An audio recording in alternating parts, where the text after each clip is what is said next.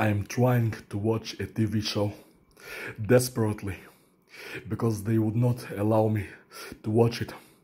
They keep disturbing me by twitching my legs.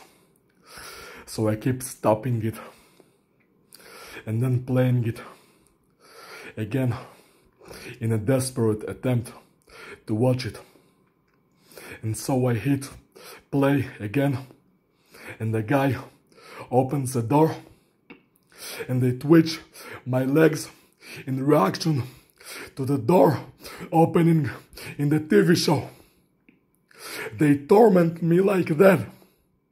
Those evil shits would not leave me alone. They torture me 24 7. Somebody, please help me.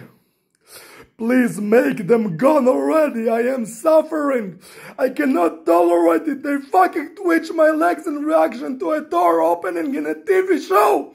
I cannot tolerate that. I want it to stop already. I want my life back.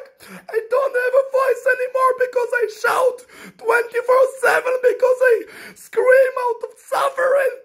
I am suffering. I don't even have a voice anymore.